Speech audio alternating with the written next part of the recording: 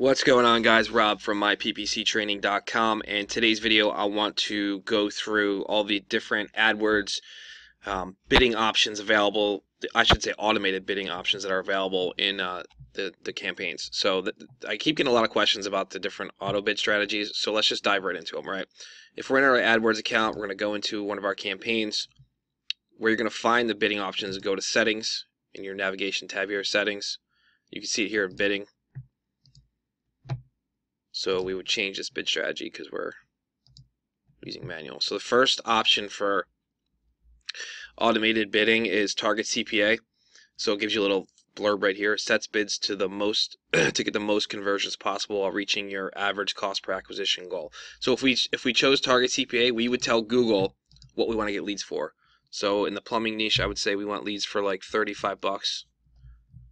And Google will do all of the bidding and do everything it can, use all of its learning algorithms and historical account data, everything, to bid for us to get leads for $35. All right. And the longer this runs, the more fine tuned it gets.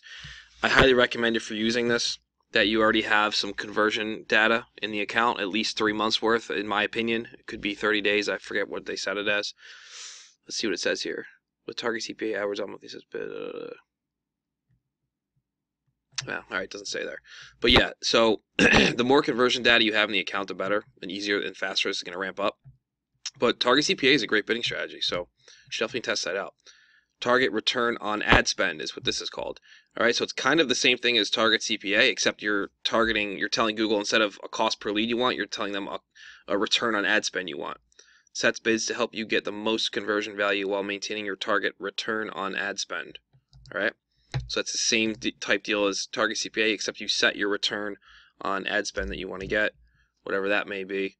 if you hover over here, it gives you a pretty cool example. If your goal is to get an average of $5 in sales for each dollar you spend on ads, your target return on ad spend will be 500%. All right, so you could set all this up depending on what your uh, your target is that you want to re get returned. So that's pretty cool too. I don't really mess around with this one too much, but I know a ton of people who do. Next up is maximize clicks. Um, we use this a lot. Probably 90% of the accounts we work on, we use maximize clicks. And it depends, or some we don't, but I, I like to use this one. So maximize clicks is basically your, um, you can see over here, AdWords automatically sets your bids to help get as many clicks as possible within your budget. All right.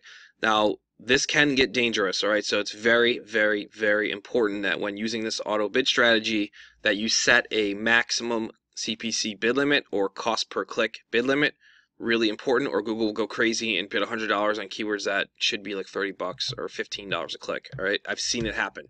So make sure that you set a max CPC bid limit. I always like to start small. So if we're in the roofing niche, I'll start at like 1603 or some obscure number. I'll look at the search impression share after a few days running, and if we're only getting like 70% or 60% search impression share, I'll come in here and I'll bump this up a couple bucks and I'll let it run and I'll just keep incrementally bumping up until I get the search impression share I want and we're uh, streamlined. So that one's pretty cool. We use that a lot. And then the next one, maximize conversions. Sets bid. It's kind of like maximize clicks. Sets bids to help you get the most conversions within your budget. All right. So you're giving Google full control. You're saying, I want you to do your thing, use your algorithms, and get as many conversions as possible within the budget, daily budget that I have set.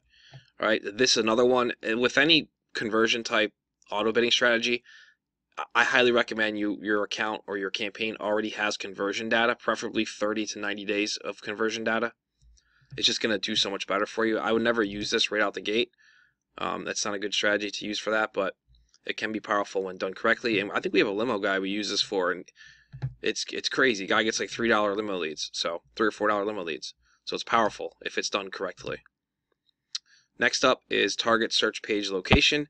Sets bids to help you get your ads to the top of the page or on the first page of the results. So it's two options you can choose from.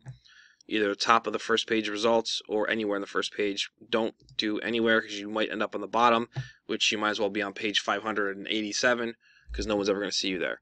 So you can do this, and then you could also add on a bid adjustment to increase it if you'd like, but that's pretty cool auto bid strategy as well. And the last one is target outranking share.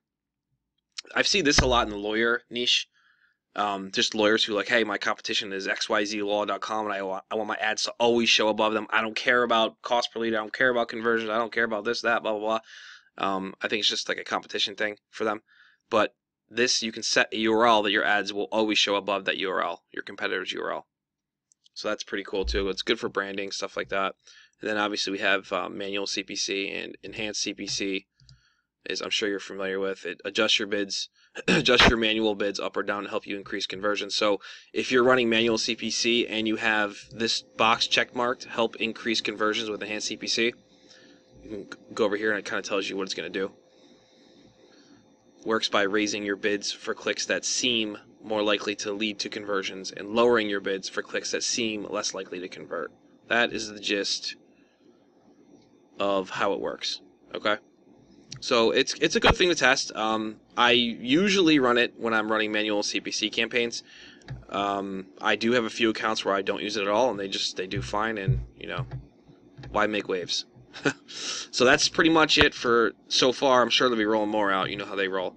But um, that's pretty much it for the auto bid strategies. If you guys have any questions about any one of these bid strategies, drop them below this video in the comment section, and I'll dive in and give you a hand.